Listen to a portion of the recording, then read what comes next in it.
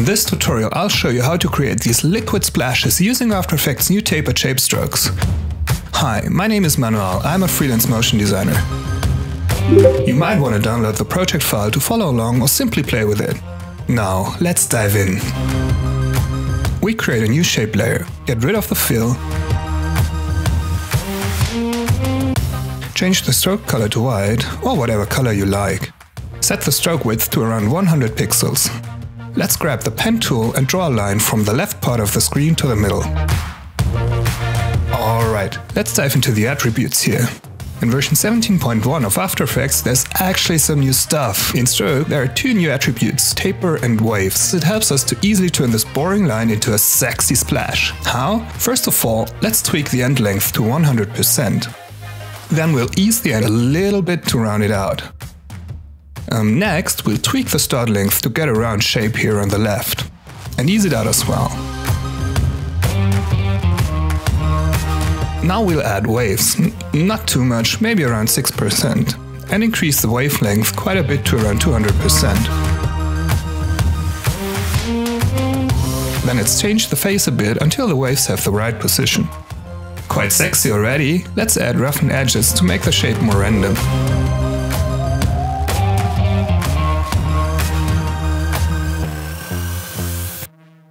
Set the border to around 12, then raise edge sharpness to around 2.4. The scale to around 200 and let's set the complexity to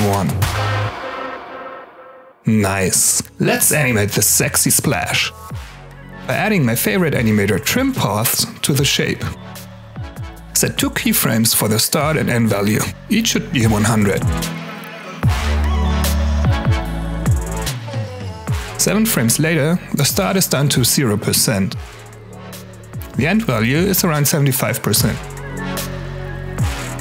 Another 3 frames later, the end reached 0% as well. Looks quite strange still, so let's animate the stroke width. Set a keyframe at the beginning and set the value to 10. We start small. After 9 frames, it has reached its max value, in this case around 100. One frame later, it's at 0.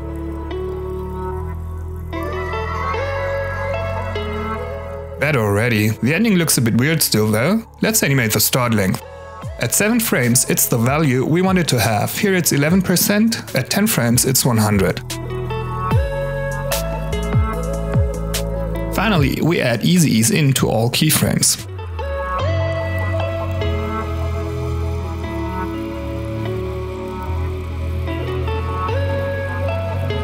Let's name the layer drop, cause you really should name your layers.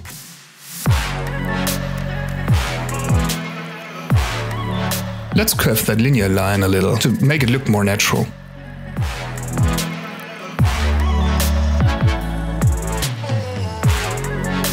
Next step is to duplicate this layer several times, adjust the path and create a splash. Quite a bit of work, need some music for that.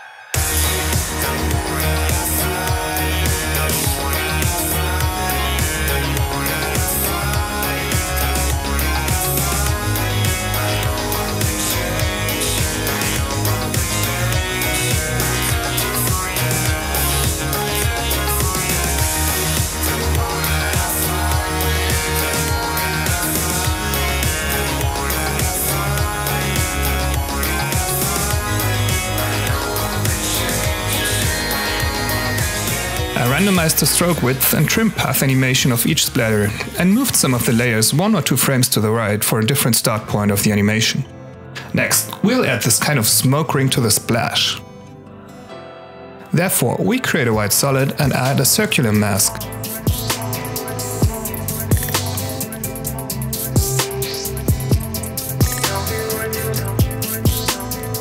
Now we'll scale it up along with the movement of our strokes by animating the mask expansion.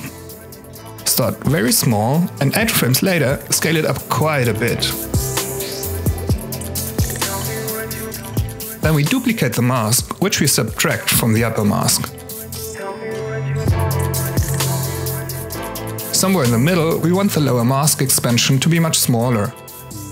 Then we add a keyframe for mask feather and change it to around 85 pixels. And add roughen edges to the solid. Set the border to around 20, the scale to 200. And the complexity to 1.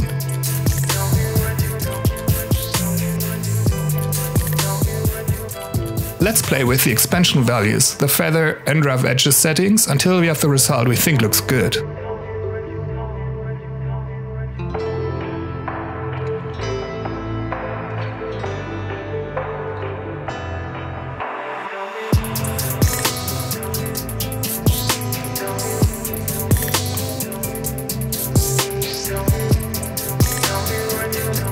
The higher the edge sharpness, the less blurry the shapes look.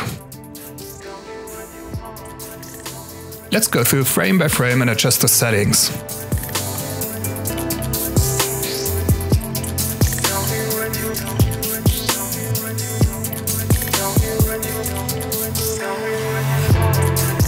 Looks nice, right? One last thing. It already looks a lot like cell animation, but to get even closer you could add an adjustment layer and posterize time to a frame rate of 12 frames per second.